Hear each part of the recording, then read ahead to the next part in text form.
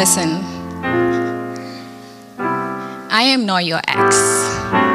I am not the 20 missed calls asking who you're with.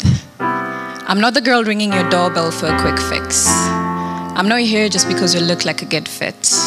I am not your ex, so don't compare me to someone that you don't think is worth shh. I am not your ex. I am not the false promise of true love's kiss.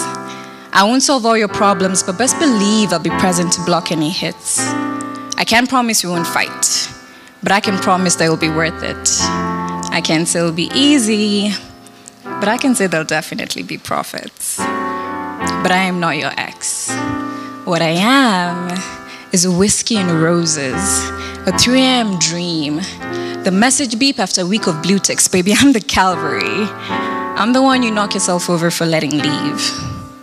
And you're the one I thought of as I wrote this piece. But I am not your ex.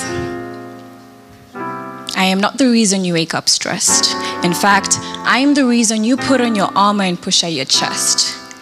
I am not the takeaway in a polythene bag in some dark alleyway. I am the sit and dine, sit beside each other with a glass of wine kind of date.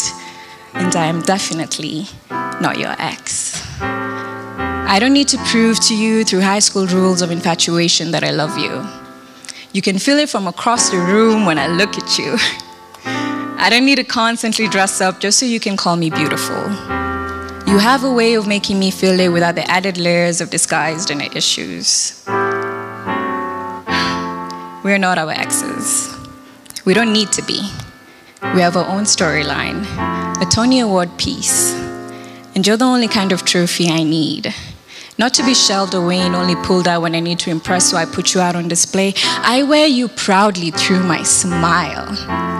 Ask me why I'm happy, and I simply turn to you and I know why. We're not our exes. You and I both know that's not the equation God drafted us in. I am not your ex. But maybe, maybe I could be your reason why. That was a match joke. If you remember your trauma from high school. Thank you.